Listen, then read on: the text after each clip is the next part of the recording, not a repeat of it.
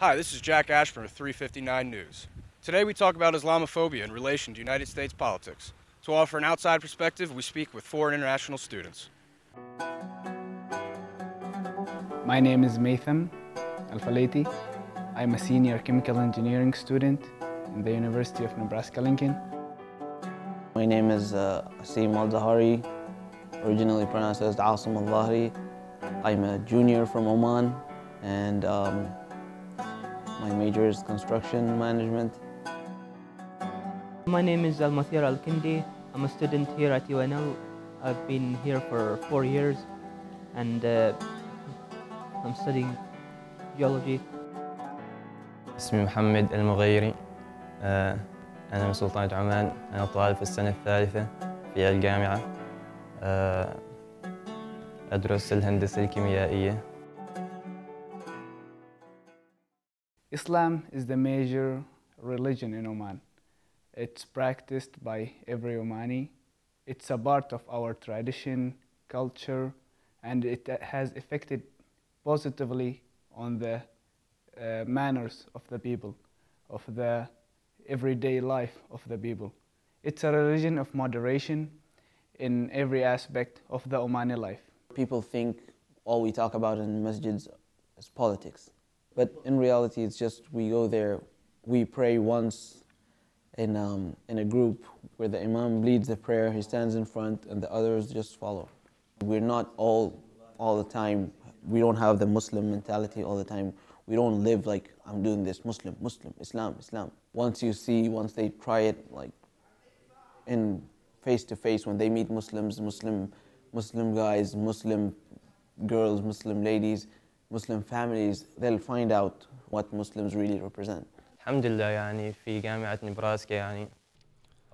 Thank God at the University of Nebraska Lincoln, or Nebraska as a whole, people are very social and are at peace with citizens of the world. From my personal experience, I haven't experienced any discrimination or racism, and I'm very happy it's been that way. But speaking in general, airports carry certain procedures that they claim are routine, that apply to all. But some of my friends have been asked to step aside and go through security inspection for no apparent reason, whereas most people don't go through them, at least not randomly.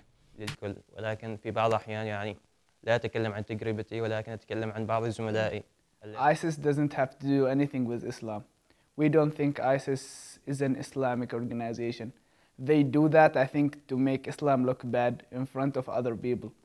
Islam isn't like that. Islam is a deen of peace. Even the word Islam comes from peace. If you see, if you look at ISIS, if you see the videos, the news, you see psychopaths, you see people who are mentally ill, yelling, screaming all the time.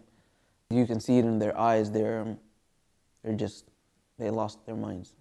They don't even know what Islam is. If you ask them any question about their faith, they won't answer.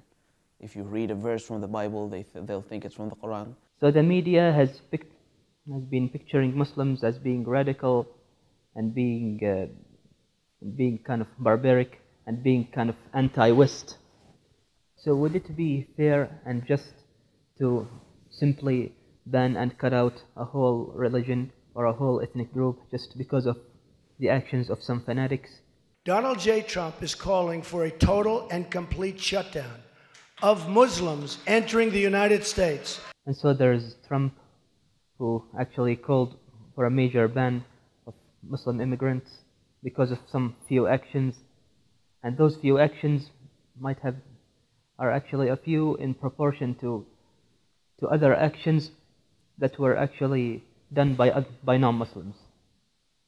Those immigrants actually fled from violent actions themselves.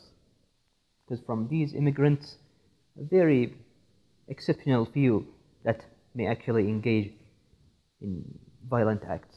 And even those themselves will actually be filtered in their immigration process.